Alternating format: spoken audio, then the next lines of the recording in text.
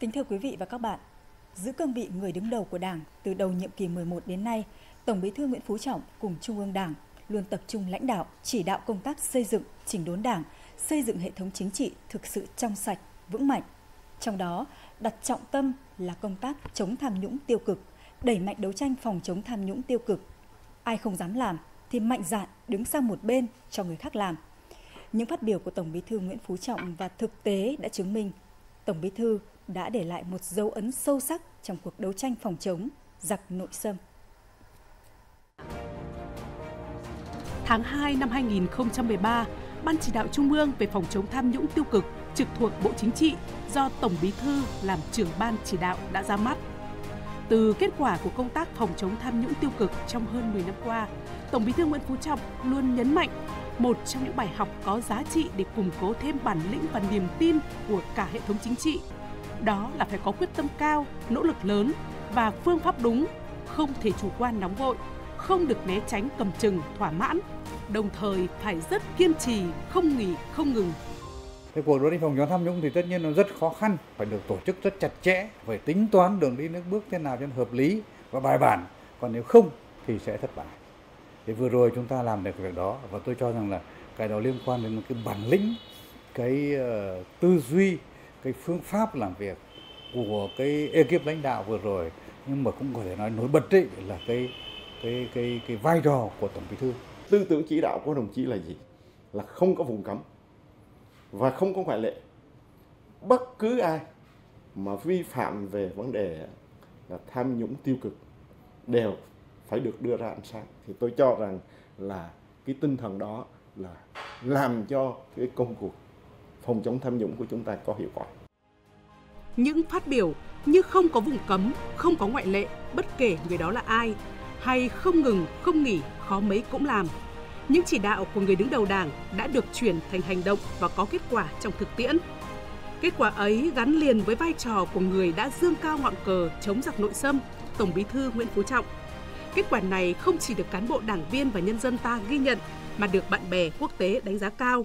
Chỉ số cảm nhận tham nhũng CPI năm 2022 của Tổ chức Minh bạch Quốc tế đánh giá đã tăng 46 bậc so với giai đoạn hơn 10 năm trước đó.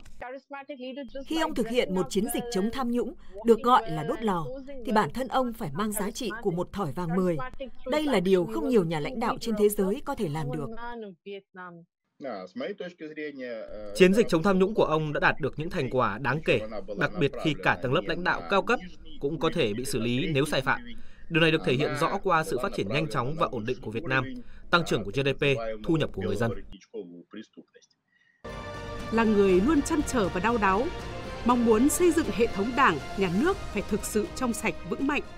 Qua mỗi cuộc họp, qua từng tháng, từng năm, Tổng Bí thư Nguyễn Phú Trọng luôn nung nấu từ trong tư tưởng chỉ đạo đến quyết tâm hành động để ngăn chặn và đẩy lùi tham nhũng tiêu cực. Mà tôi đã nói nhiều lần không ngừng không nghỉ, phải làm thật sự trong sạch bộ máy đảng, nhà nước, cả hệ thống chính trị của chúng ta, làm trong sạch đội ngũ của chúng ta. Đây là yếu tố quyết định tất cả mọi công việc khác.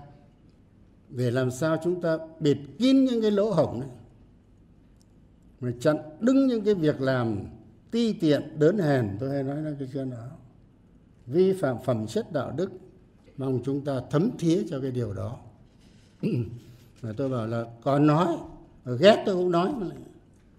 Bởi vì đây là vì cái sự nghiệp chung thôi. Mà chúng ta ở đây phải gương mẫu.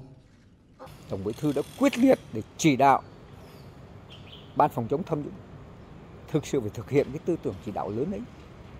Cho nên chúng ta đã đạt được một à, gọi là những thành tích kỳ vọng. Không phải bất cứ lúc nào trong giai đoạn phát triển đất nước chúng ta lại có những thời kỳ như vậy khi mà tất cả những người dù ở vương vị rất cao, nhưng vi phạm pháp luật đều phải bị truy cứu, trách nhiệm. Hoặc là cho thôi chức hoặc là lao lý thì có lẽ đây chính là cái mà vừa lý thuyết nhưng mà là thực tiễn. Người dân thực sự đã tin. Và thời kỳ này chính là thời kỳ mà người dân, chúng ta lấy lại được niềm tin của người dân. Thì đấy chính là cái mà chúng ta cũng nên nhớ lại và và đánh giá, rồi ghi ân cái công lao lớn rất lớn của tổng bí thư chúng ta Đại hội Đảng lần thứ 13 vẫn ghi rõ tham nhũng tiêu cực vẫn là một trong những nguy cơ trực tiếp đe dọa sự tồn vong của Đảng và chế độ. Do vậy, công việc này phải được tiến hành kiên quyết, kiên trì, bền bỉ và có cách làm khoa học bài bản, không khoan nhượng. Nhưng Tổng Bí thư Nguyễn Phú Trọng cũng luôn nhắc nhở rằng mục đích lớn nhất của cuộc đấu tranh là để xây dựng chỉnh đốn đảng và xây dựng hệ thống chính trị ngày càng trong sạch vững mạnh, củng cố niềm tin của nhân dân, chứ không phải cốt để kỷ luật nhiều người, khởi tố nhiều người. Quan điểm chỉ đạo ấy đã tạo nên hiệu quả và sức thuyết phục của cuộc đấu tranh. Tổng Bí thư Nguyễn Phú Trọng đã để lại một di sản niềm tin trong cán bộ đảng viên và nhân dân đối với Đảng và chế độ.